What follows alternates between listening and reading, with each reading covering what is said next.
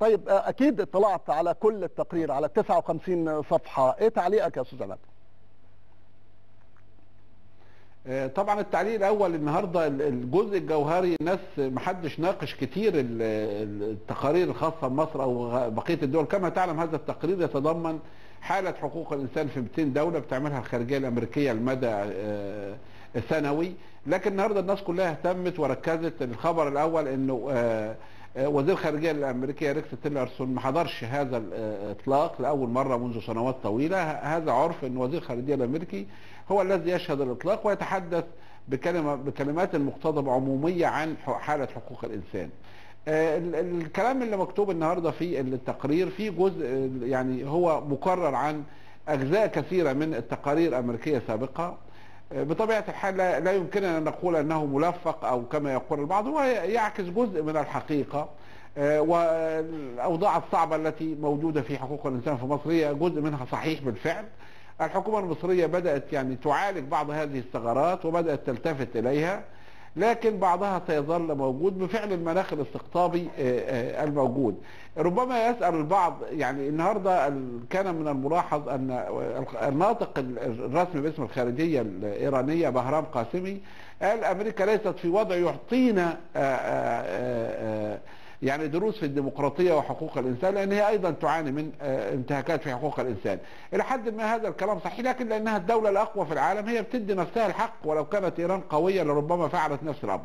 الدلالة لغياب وزير الخارجيه ربما يقول البعض أنها دلالة سيئة لأنها تعني أن الولايات المتحدة قررت أن لا تضع هذا الموضوع في الصدارة كما كانت تفعل الإدارات السابقة خصوصا إدارة أوباما باراك أوباما.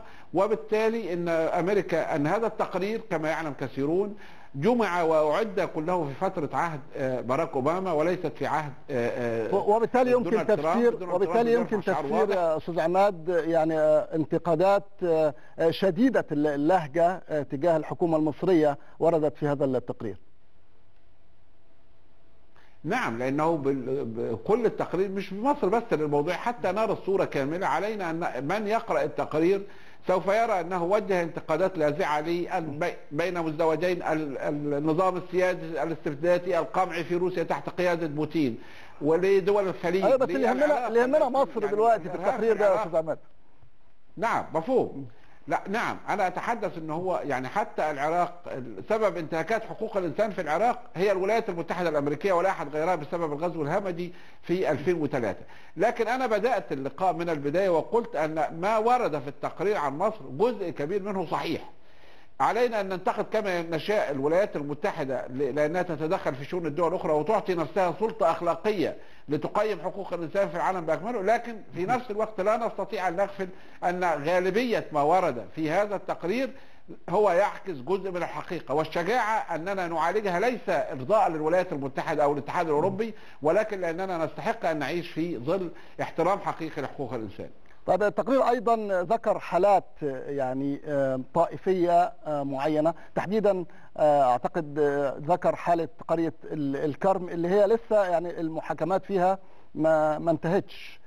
يعني كيف يمكن التعامل مع هذه الحوادث من وجهة نظرك يا أستاذ عماد؟